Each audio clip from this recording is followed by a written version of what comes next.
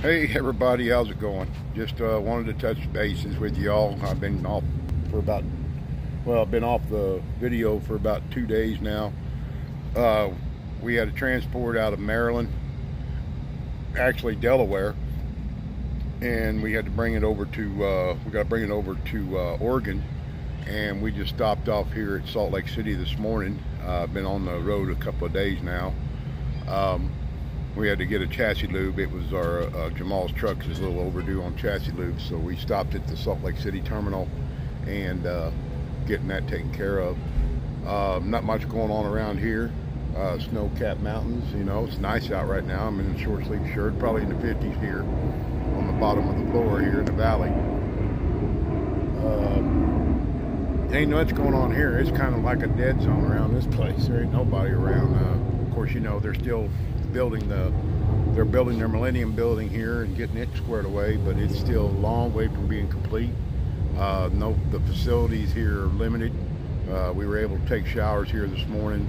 Other than that, there's fresh coffee, but no food or anything like that. And I guess the only way you get food around here is through Uber.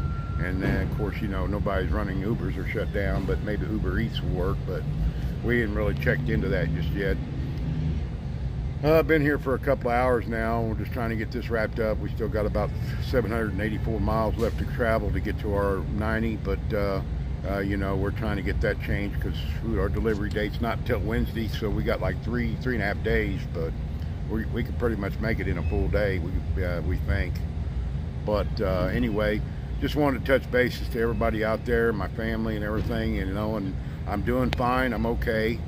So far, I ain't cut the crud. Uh, we're keeping ourselves sanitized, our hands washed all the time. Every time we're in and out of the freaking truck, we put hand sanitizer on, and we're trying to stay limited to the amount of people we're in contact with.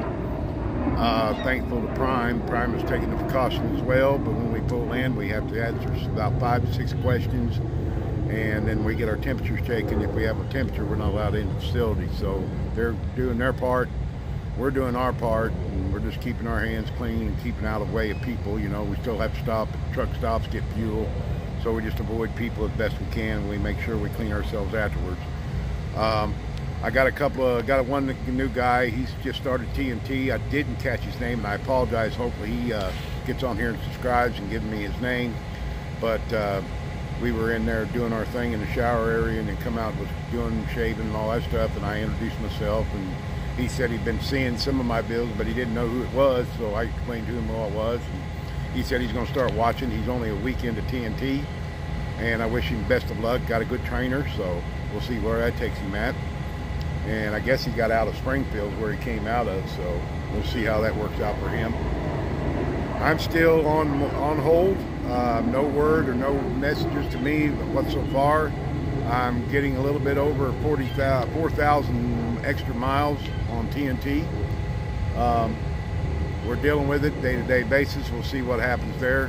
Uh, again, I'm supposed to be getting my trainer on this video. He's in there and, uh, and where the truck's at, and I'll be doing another video with him when we get an opportunity. Uh, but I just want to touch braces, you know, this uh, virus that's going on, pandemic or whatever they call it, it's, it's getting bad out there, you know, but we're doing our part delivering produce, doing whatever we're supposed to do, and keeping, uh, you know, short contacts with people. But, uh, you know, we're doing our thing, and that's what we're supposed to be doing out here for the benefit of the American people. And, uh, you know, kudos to our president. He's doing the best he can with what he's got to work with. You know, uh, even our family members are doing it. My wife is taking care of herself, preparing, you know, precautionary measures and stuff. Uh, shout out to my church family as well. Uh, you know, I appreciate the prayers and everything. I'm doing doing what I think is best to do for right now, and uh, thank you for your prayers and everything thoughts. Also, want to shout out to a lot of people out there that are that have family members that are suffering from this disease or this virus. And you know, my heart, my thoughts and prayers are also with you as well. All my trucker friends, I want you all to be good to go. You know, take care of yourselves out there. Be safe. Wash your hands every time you turn around. You know, take care of yourselves and then, you know, be safe out there on the roads. Um, also, uh, you know, we keep doing what we're supposed to do and that's our job. So you know, that's the way it goes. But other than that, that's just to touch base on something there to tell you what's going on with me. Uh, hopefully, we'll be leaving Salt Lake and headed towards Oregon here pretty soon and see what's going on there. Maybe have a little weather to face, but we'll deal with it the best we can. Uh, anyway, best of luck to everybody. Uh, be safe. Uh, always remember we keep striving and striving for perfection. And I'll talk to you guys soon, all right? I'm out. Talk to you later. Bye.